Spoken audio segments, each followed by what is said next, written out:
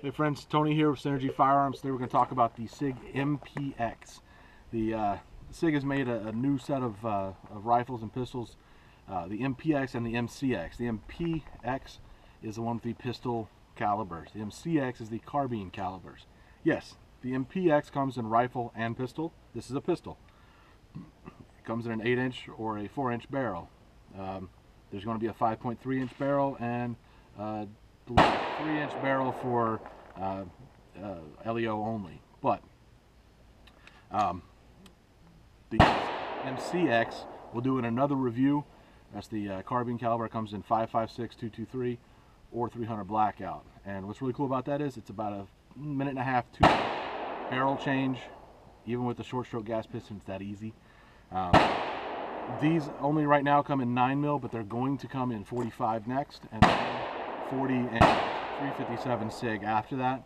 Um, I talked to the engineers at the uh, NRA show in April, and they are working on the 45s right now. What they're going to do is make so you can convert this 9 mil into the 45 and the 45s into the 9 mil. Um, they're just trying to get the feed ramps to line up perfectly, and you know what? I kiss them for it because it's a lot of fun. A lot of fun.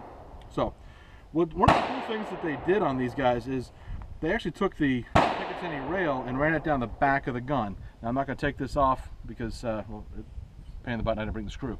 But, uh, unscrew that, take this off. Right now this is my pistol uh, wrist brace, okay? It's a, um, it's an ATF walk around, work around, whatever you want to call it. Uh, this is meant for you to unstrap it, put it on your arm.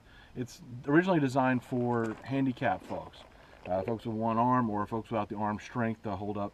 Um, the ATF has gone back and forth on these. As of May this year, you are allowed to put it against your shoulder as long as it still acts as a wrist brace. That's We're going to do another review of just the wrist braces, go over a couple different kinds. Um, but just because it's on the gun, we'll talk about it.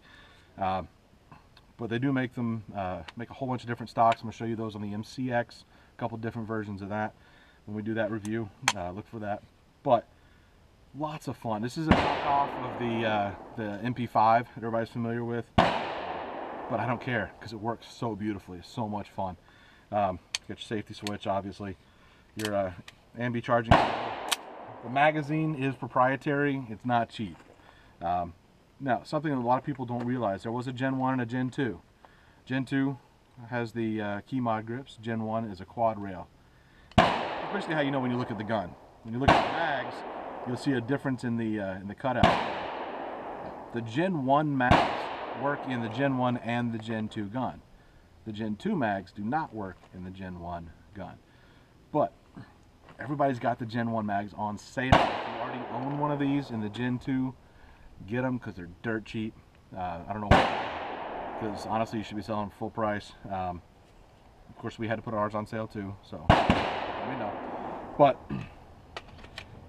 fits in there nice.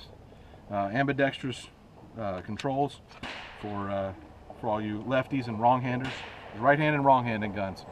Uh, but we're going to do another review later with the MCX. We're going to do one. We're going to come back and do the MPX again with the Romeo sights on. We're going to look at a couple different versions today. But stay tuned. Check out our other stuff. Call us, say hi, tell us what you need.